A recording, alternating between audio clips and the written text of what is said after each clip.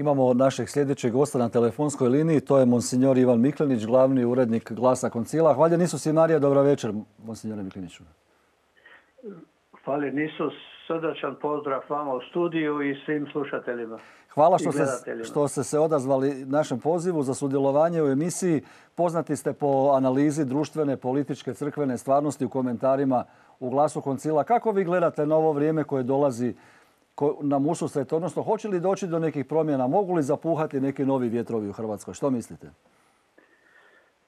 Pa ja kao vjernik uvijek vjerujem da može biti u Hrvatskoj bolje i tome se duboko nadam i da pače mislim da koliko, ukoliko mi vjernici svoj dio odradimo da će sigurno biti bolje. E, ima mnogo područja koja bi trebalo duboko promisliti i učiniti radikalne zaokrete. E, možda možem biti iskren pa reći da bi to možda trebalo početi od sebe, od naših crkvenih redova, ali i do, posebno do politike, do odgovornih u društvu, jer ako ne budemo mi i shvatili i ovu krizu koja je po mojoj procjeni puno gora nego ona 2008. godine, e, da postoje vrednote koje moramo poštivati i koje moramo njegovati, koje moramo svjesno promicati, jer su one temelj da bismo mogli izgraditi bolju budućnost. Ako to izvučemo iz ove situacije, tu pouku da postoje te vrednote, e, onda ćemo biti u velikom dobitku. E, ja se toplo nadam da će se to ipak nešto od toga dogoditi.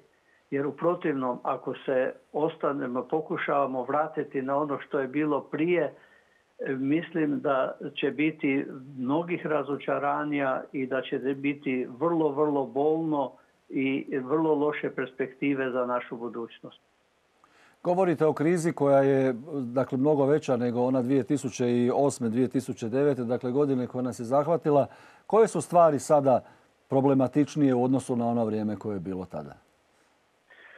Pa mislim da će sada možda ostati više ljudi bez posla. E, sada je e, puno teže će biti obnoviti život jer će biti vjerojatno još dugo e, uvjeti različiti za naše funkcioniranje, a u takvim uvjetima, evo mi na primjer imamo ovaj tjedan otvorene dućane i ne znam što, ali nemamo promet onaj koji je bio u redovito vrijeme.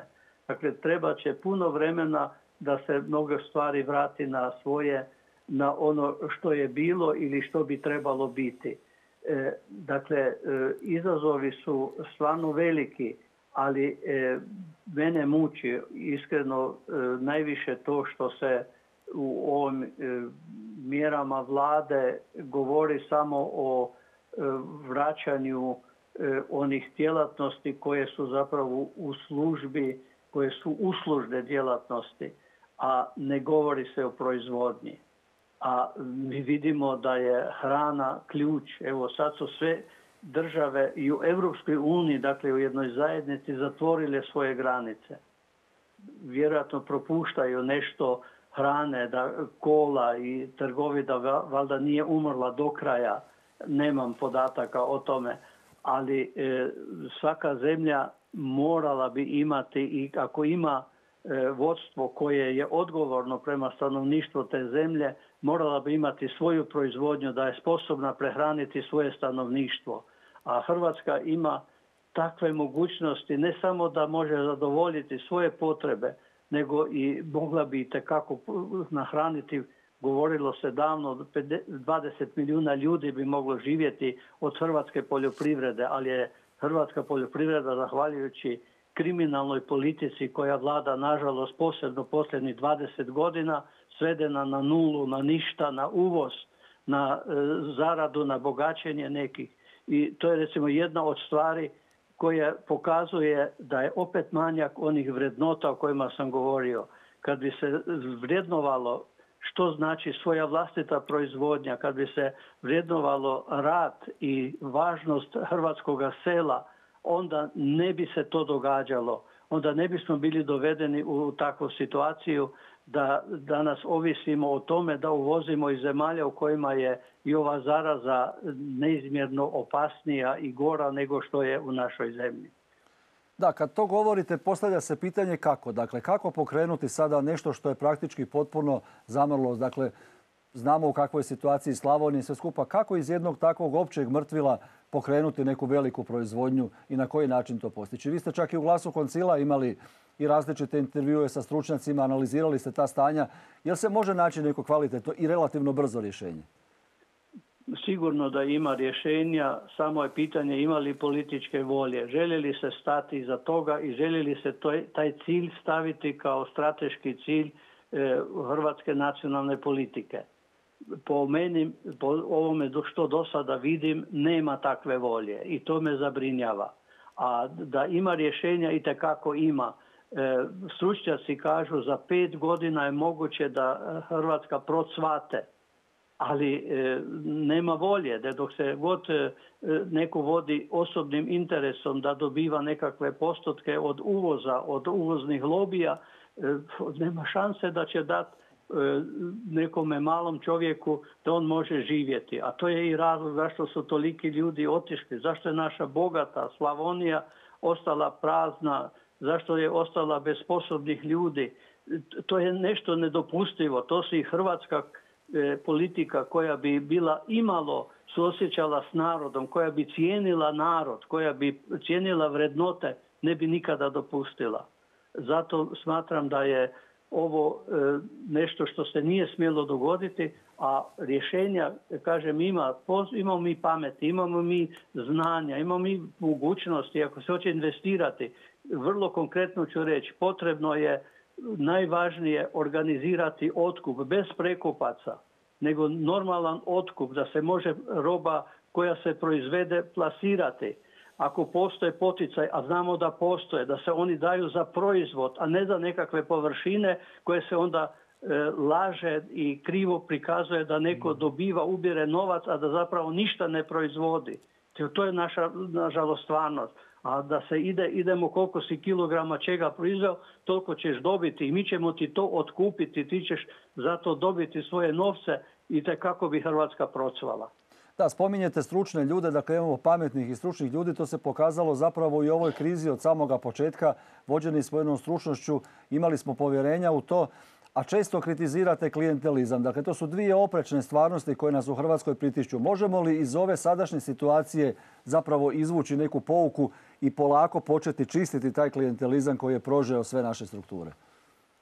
Pa ja mislim da je većini u Hrvatskoj to sasvim jasno. A da li je to jasno političkim elitama, da li je to jasno ljudima koji su vode političke stranke, to ne znamo. Jer vidimo da koliko god se mijenjale na vlasti koalicije ovog ili onog predznaka, stvar je ista, ne mijenja se ništa. A ja se nadam da je dovoljno ozbiljan trenutak i dovoljno teška situacija sada u Hrvatskoj da se konačno krene, da se konačno definiraju ciljevi kamo želi ta država ići, kam, što želi proizvoditi, od čega želi živjeti. Jer vidimo da turizam je plašljiva životinja, ne, koja jedan put je tu, drugi put je nema.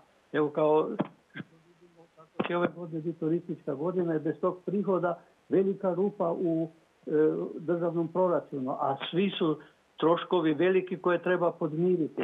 Dakle, moramo stvoriti e, privredu kakva je normalna za svaku stabilnu državu koja želi dugoročno živjeti, a stabilna država nikad nema tako visoki postotak u budžetu prihoda od budžeta, u budžetu od turizma, nego ima od svoje proizvodnje. Dakle, moramo se vratiti proizvodnji.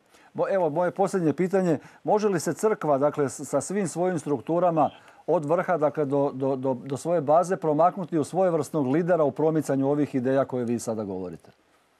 I na koji način? Da to crkva neprestano radi. Evo, sjetimo se da je e, biskupska konferencija organizirala socijalni tjedan koji je bio posvećen radu, na kojemu su sva ova pitanja elaborirana, sve je protumačeno, sve je rečeno što je važno. Nitko od politike nije na to pokazao nikakvu gestu, niti kritiku, niti apsolutno ništa. Ignorirao kao da se ništa nije dogodilo. I, I ja mislim da je to veliki problem e, što u Hrvatskoj se dopušta da mnogi ljudi izigravaju dvorske lude, smiju govoriti što god hoće, bez obzira na njihovu dobronamjernost, ali e, onih koji gospodare, koji upravljaju, rade svoj posao i vode Hrvatsku onako kako je ne bi trebali voditi.